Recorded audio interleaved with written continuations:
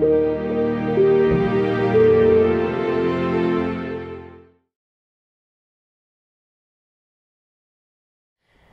Jenny, you have a new paper out today on geostrategic competition in the Pacific Islands. It's really interesting. Can you tell us a bit about that?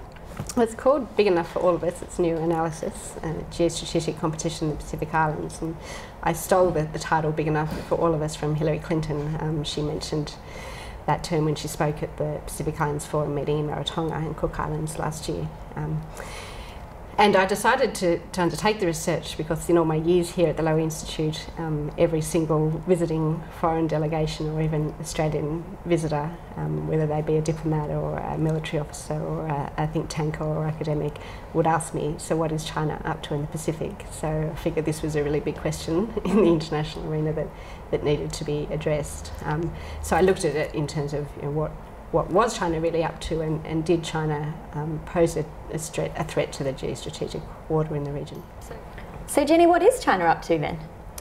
Well, um, what I'm arguing in the paper is actually contrary to what most of my colleagues in this field argue. I mean, most most people tend to see China as a as a threat to the geostrategic order of the Pacific. They see China as a potential security threat, certainly a challenge to Australia's dominance. Um, I argue the opposite that Australia's dominance is certainly in the South Pacific is well entrenched, as is the US dominance in the North Pacific. Um, even if China did have the geostrategic ambitions that my colleagues suggest it, it does in the future, um, it still has a long way to go before it can catch up to the, to the dominance of Australia and the United States and some of the other traditional powers.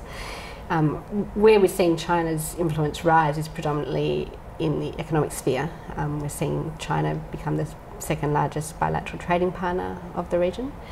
Um, and just as it's the first the primary trading partner of Australia, and this is to be expected. China's trading influence worldwide is well known.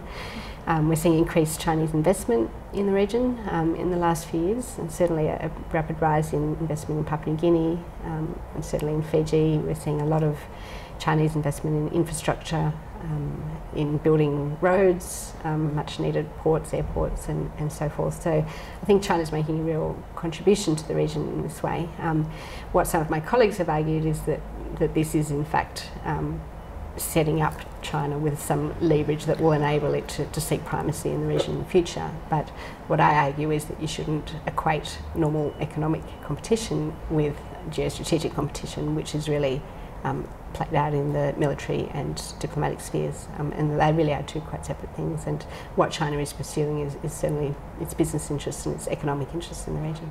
It's been a really interesting conversation, and I think there's probably going to be quite a lot of debate that comes out of this. Yeah, I hope so too. Thanks, Philippa.